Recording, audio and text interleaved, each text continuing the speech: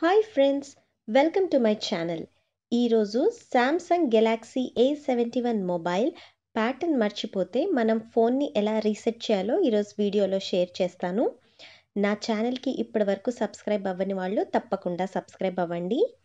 Friends ఇది Samsung Galaxy A seventy one mobile right side మనకి three buttons కనిపిస్తున్నాయి కదా. సో ఈ బటన్స్ ఏంటంటే volume up button volume down ఇంకా power button so three times incorrect pattern enter చేసిన తర్వాత try again in few seconds అని వచ్చిన వెంటనే రైట్ సైడ్ పవర్ బటన్ ఇంకా వాల్యూమ్లో బటన్ ప్రెస్ చేయాలి. వెంటనే త్రీ ఐకాన్స్ డిస్ప్లే అవుతాయి. అలాగే మనం హోల్డ్ చేసి పెట్టుకోవాలి. కాసేపు అయిన తర్వాత ఇవి ఐకాన్స్ అన్ని డిసప్పియర్ అయిన వెంటనే పవర్ బటన్ని అలాగే ప్రెస్ చేస్తూ వాల్యూమ్ ఇంక్రీజ్ బటన్ని ప్రెస్ చేయాలి. మొబైల్ రీస్టార్ట్ అవుతుంది. ఇంకా ఈ ఆప్షన్స్ అన్నీ డిస్ప్లే అవుతాయి.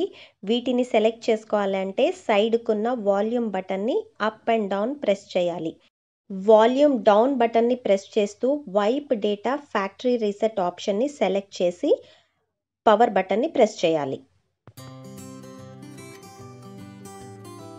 ఇప్పుడు ఫ్యాక్టరీ డేటా రీసెట్ ఆప్షన్ని సెలెక్ట్ చేసి మళ్ళీ పవర్ బటన్ క్లిక్ చేయాలి.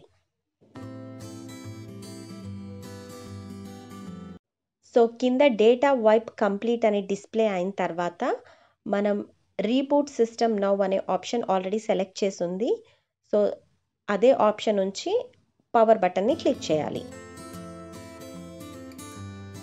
ఇప్పుడు మొబైల్ రీసెట్ అయింది. స్టార్ట్ అవ్వడానికి కొంచెం టైం పడుతుంది. నెక్స్ట్ మళ్ళీ మీరు ప్యాటర్న్ని సెట్ చేసుకోవచ్చు.